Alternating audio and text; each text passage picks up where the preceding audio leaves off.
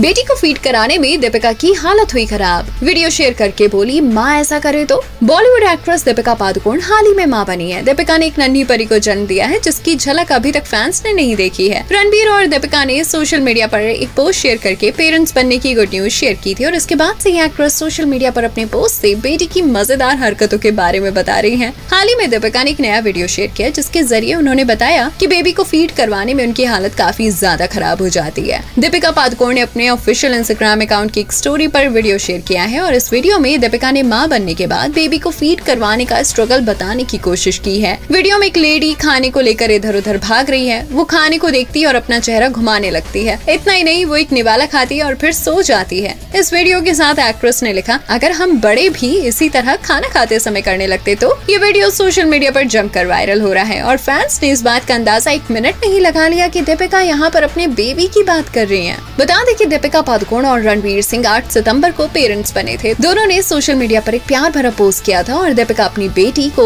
15 सितंबर को घर लेकर पहुँची थी। दीपिका और रणवीर सिंह बेबी होने के बाद सिर्फ़ एक बार ही पेपराजीज के कैमरा में कैद हुए। दोनों को हॉस्पिटल के बाहर स्पॉट किया गया था, जिसके बाद से ही दीपिका और रणवीर अपना सारा टाइम अपनी नन्ही बेबी के साथ स्पेंड कर रहे हैं। वर्क फ्रंट की बात करें तो दीपिका पादुकोण, रोहित शेट्टी की सिंह हम अगेन में नज़र आएँगी, जिसमें वो एक पुलिस ऑफिसर का रोल निभाने वाली है।